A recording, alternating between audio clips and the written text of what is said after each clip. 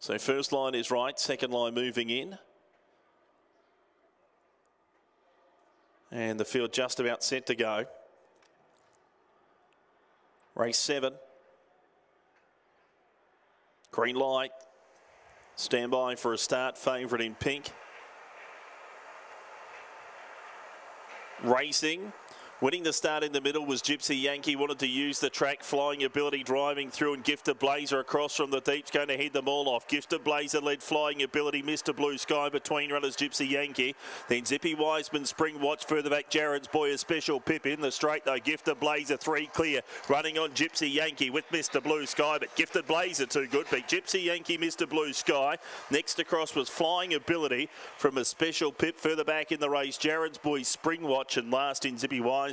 Time for the run was 22 and 04. 22.04 the run.